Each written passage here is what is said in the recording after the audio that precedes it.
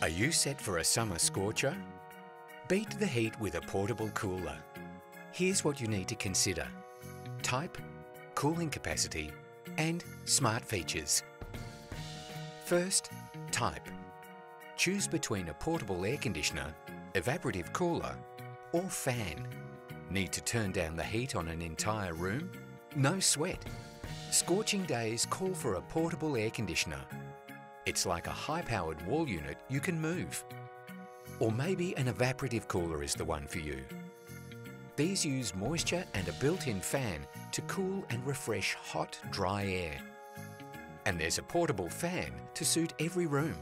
Models that oscillate and have adjustable heights and speeds are for versatile go-anywhere cooling. Need help deciding? Consider the cooling capacity. Larger spaces call for a more powerful portable cooler that can take the temperature down quickly. On a portable air conditioner, check the wattage. Smaller rooms require a system with 2 to 3 kilowatts of cooling power. In open plan or large rooms, a minimum 4 kilowatts will bring the chill. Using a fan or evaporative cooler, high speed settings are your ticket to cooler days and comfortable nights. Finally, the smart features. Chill out and breathe easy with a combined cooler and air purifier.